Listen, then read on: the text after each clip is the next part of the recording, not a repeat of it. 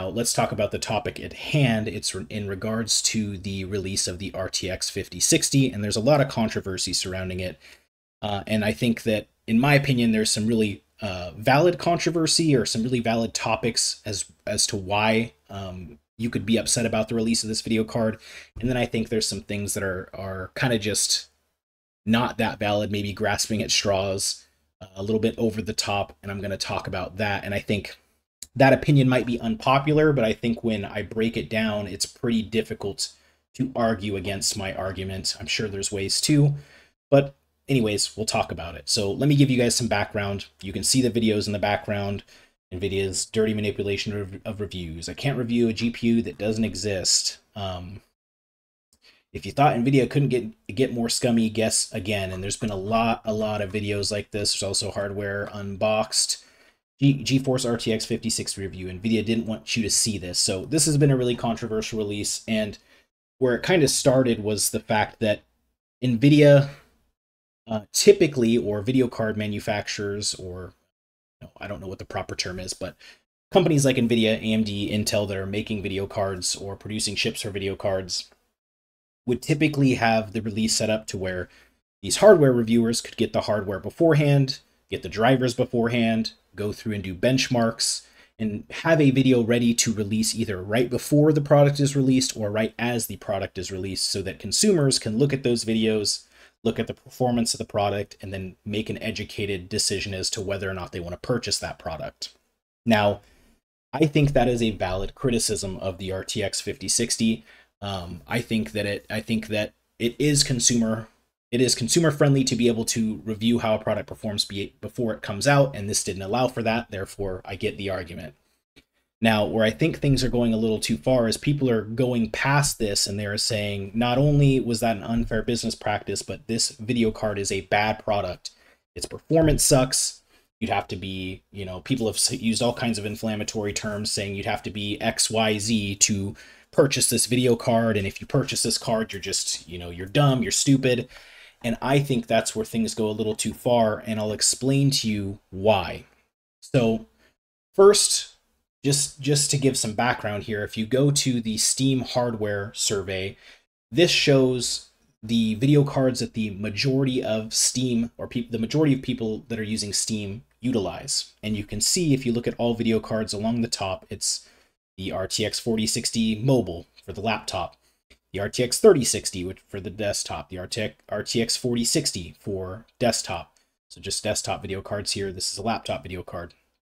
GTX 1650, 4060 Ti desktop, RTX 3050 desktop, RTX 3060 Ti desktop, RTX 3060 laptop. So the first, what is this? One, two, three, four, five, six, seven GPUs are either 60 or 50 series GPUs.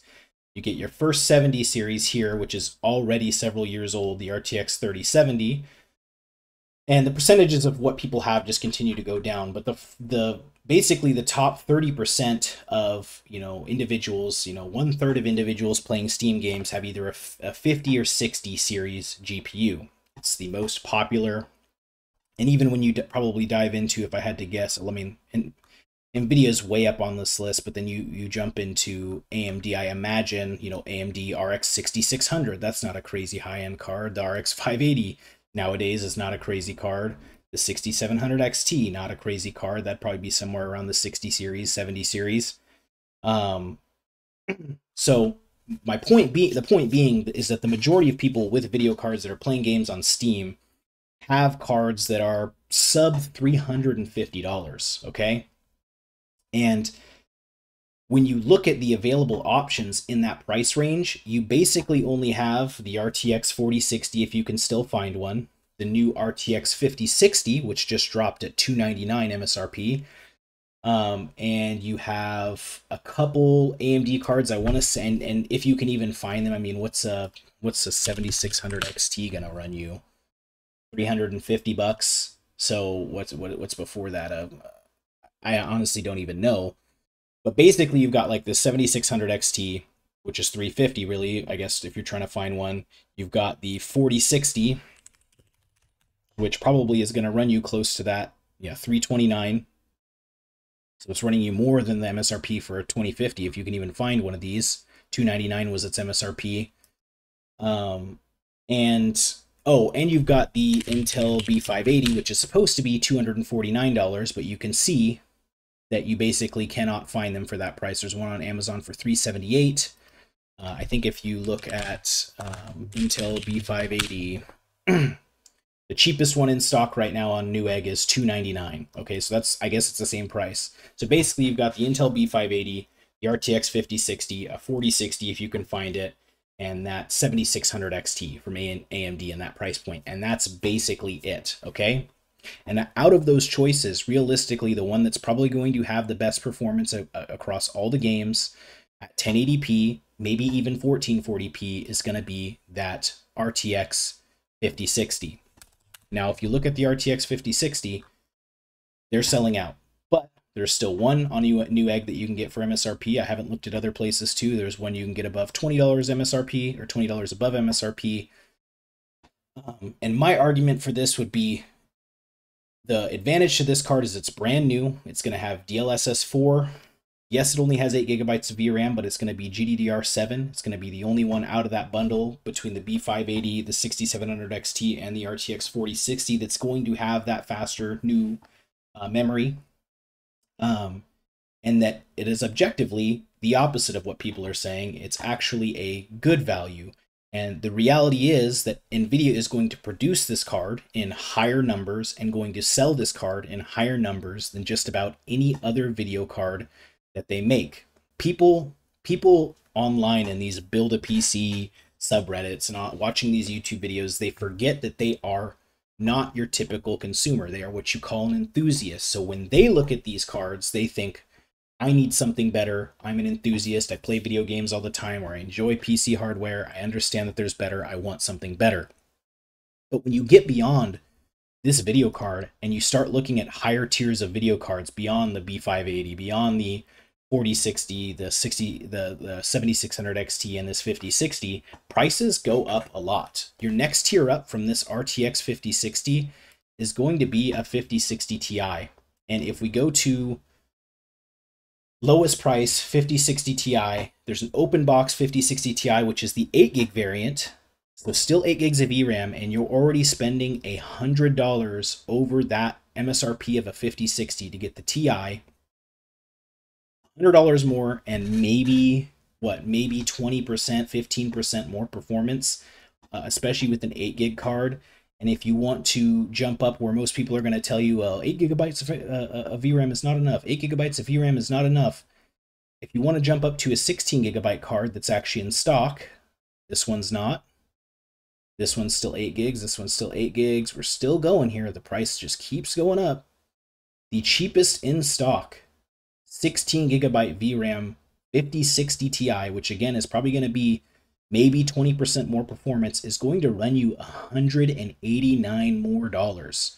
And for a lot of people with average incomes, that is a lot of extra money. You know, that is that's that's a lot of money to spend for 20% more performance uh, and then to have to question whether or not you're even going to need it. If this person has a 1080p monitor, a 1080p 120 hertz, 1080p 144 hertz, they play mostly competitive games, maybe the occasional the occasional AAA game, where they play some AAA games, but they're willing to turn settings down, they should get the 5060. They should not spend the extra $189 to get this 5060 Ti. I would say to do that, to get that 20% extra extra performance, is actually what's objectively a poor value. But if you go online and you look in these gaming communities and you say, oh, I'm looking to get an RTX 5060, and they're buying into all this controversy surrounding the card, they're going to tell you that that's a trash card, that you should save up money, and you should go get a more expensive card. Well, this is the next tier up, and it's going to cost you that much more. Let's look at the actual next tier up where you're not just looking at a, a titanium TI card, which is just a, a small iteration above the 5060. What if you want to get a 5070 right now? And let's go to the lowest price so this would be MSRP for a 5070 550, which is already $250 above the 5060, and that is out of stock. I actually have this exact card. I was able to get one for MSRP while I was in Oregon, so I didn't pay any sales tax on it. And to me, it was hard to stretch to get one of those. As an enthusiast, it was hard for me to justify spending that extra $250 knowing that I'm going to get maybe 30% more performance and just a little bit of extra VRAM. I did it, but I'm telling you that that's what most people are going to feel in their mind. So then you look at a 5060 or 5070 you can actually get that's open box. There's a couple of them here. And you're spending literally twice as much as a 5060 to get 30%, 35% more performance and 4 gigabytes more of VRAM. And then what does AMD have to compete against the 5070 to look at as the next tier up as an option? Well, they're going to have the 9070. And this card is even worse typically. so the MSRP on these is supposed to be fi- be $549.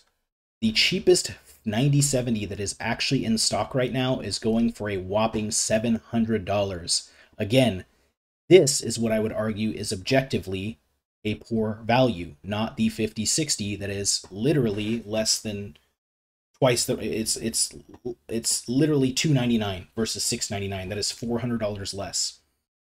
And so my question to people that are calling the 5060 a bad video card and objectively a poor value is what is the next best best option for someone that is in that price range that makes an average income or that maybe lives in you know a home with the average household income which means everybody in the house making $80,000 a year in the United States. What video card do they get if they have an actual budget that they need to adhere to and they cannot afford to jump to a 550 video dollar video card or to spend an extra $200 to get a, a TI 16 gigabyte 5060 Ti.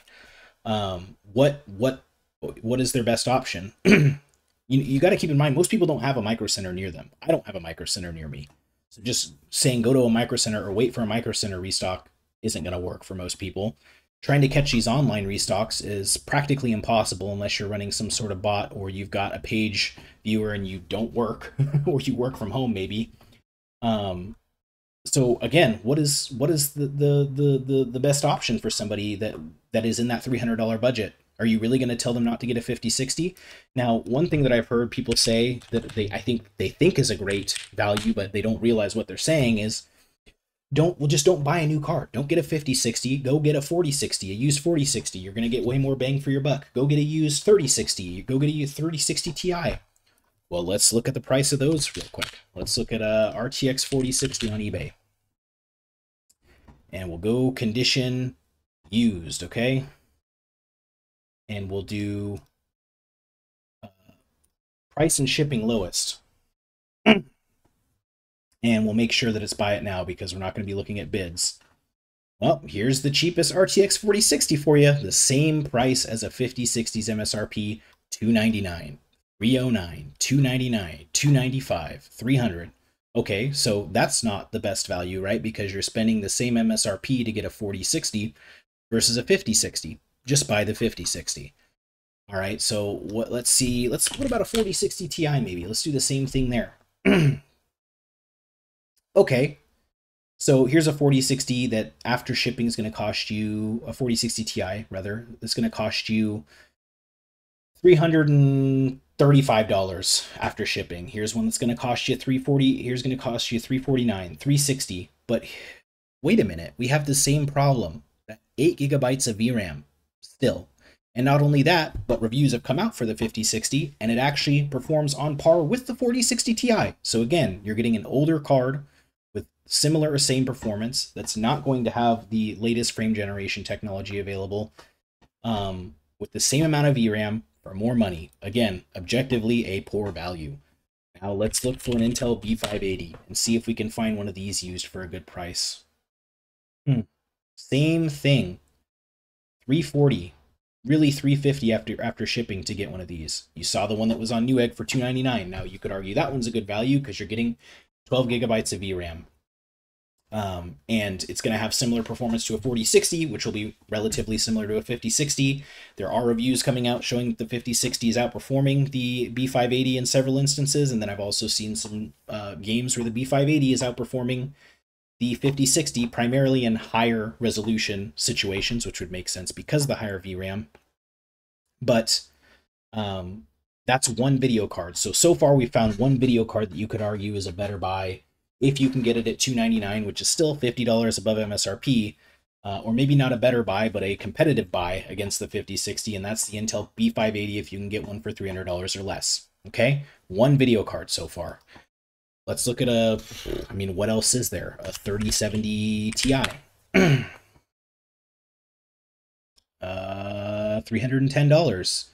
Now this this might be an objectively decent deal if this 3070 Ti uh, I mean, I guess I, I'd have to look and see at the benchmarks, but the other problem is I don't think you're gonna get gonna get much better performance. And again, boy, and you also have to question: is this actually a Ti because they put 3078 gigabyte here? Um, but again, you're only getting the eight gigabytes of VRAM, so it doesn't solve your VRAM issue. You're getting slower VRAM, and then you still have to question how much more performance are you really getting for that price. And so, um, you have to excuse me. I don't know a lot of AMD cards right now, but you know, this 7700 XT, the cheapest one's 440, so that's already $140 more. If let's look at the 7600 XT, 270, so a little bit cheaper. So I mean, I guess if the 700 7600 XT is competitive with, oh no, I guess it's $300 after delivery. So I mean, to me, you look at all this and it go and you go, okay, realistically, what option is better for $299 or the $350 than a RTX 5060. You get a brand new video card with the newest frame generation technology. Yes, it only has 8 gigabytes of VRAM, but practically everything else you're looking at in comparison does. I guess this has 16 gigs of VRAM, so you could argue that this might do better in high resolutions. Um, but it's it's you know the point is that it's you get you the sorry it's it's almost frustrating to me because it seems so disconnected when I see people argue against it. But the RTX 5060 is actually, regardless of what echo chamber you're living in, objectively the best value video card that you can buy right now. It's the newest with the best performance for the money that you're going to spend. It really is. You know, it's okay to, in my opinion, argue that NVIDIA's practice was scummy and anti consumer. That is a valid argument. But then to call this video card garbage when in reality it's probably one of the best values, and mark my words, it will be on this Steam hardware chart before too long. Give it a year. It will be up here amongst these other cards because it will sell like it'll sell so well. You know, it's just a it's just a poor argument. Realistically, the RTX 5060, no matter how you want to spit it, is a good value for the cost that it that it is. And you know, we're still what we're still a couple weeks away from AMD's uh, what is it the 9600 XT release. They've got an 8 gig and 16 gigabyte variant that uses GDDR5 or GDDR6, so slightly slower than the Nvidia one. Um, but it does have a full PCI 5.0 x16 bandwidth, so that might help a little bit. But I'm I'm guaranteeing you when that card drops, assuming you can get them in our MSRP, the 299 one's going to be competitive with the 5060, but it's going to have the same amount of VRAM and it's going to be slower VRAM, so that's not going to solve your VRAM argument.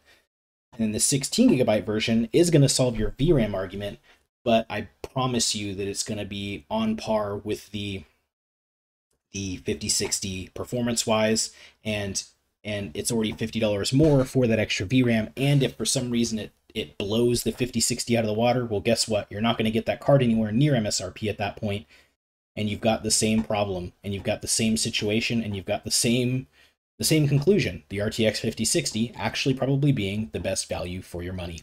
So I know this is going to be an unpopular opinion, but uh, if you have a better answer as to what somebody should buy that you can actually find an example of, not just a one off example that you found on your personal Facebook marketplace, but you can find that most people can follow that are looking at that price range, then go ahead and drop it in the comments.